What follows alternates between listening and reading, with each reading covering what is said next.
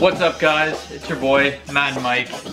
Today's project, I'm gonna be painting the rims on the AMG.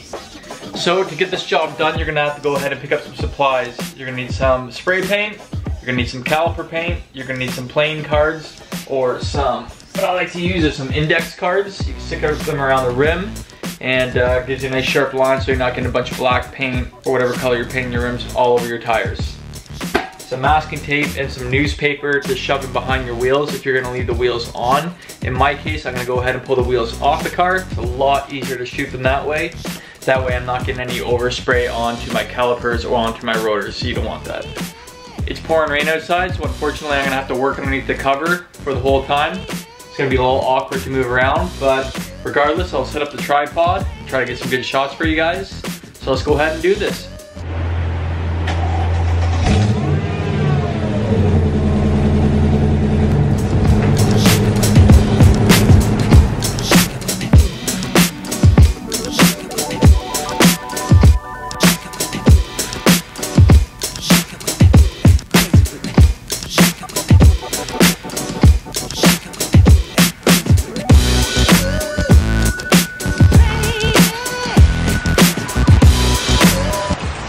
As you can see, beautiful Squamish, BC. It's pouring rain outside.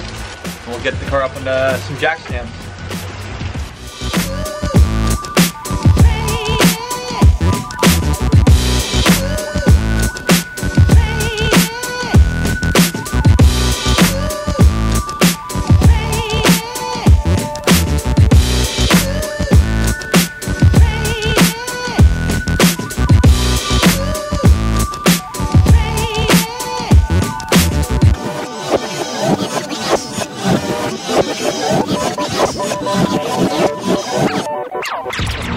Well guys, I'm just trying to pull the rims off the Mercedes right now and the studs are on there super, super good. The car's a 2003, it's been sitting for a while.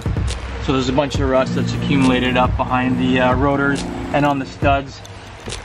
Believe it or not, I just uh, snapped my half inch wrench trying to get one of the studs off and the last thing I want is to snap a stud or break more tools. So I'm gonna go ahead and wait till it's sunny outside I'm gonna go down to my buddy's shop and grab an impact wrench.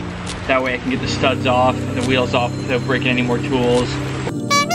It, this is a bitch doing this job out in the rain with the wrong tools. So I'm just gonna do it properly and uh, stay tuned and we'll eventually get the wheels off and I can start to paint them.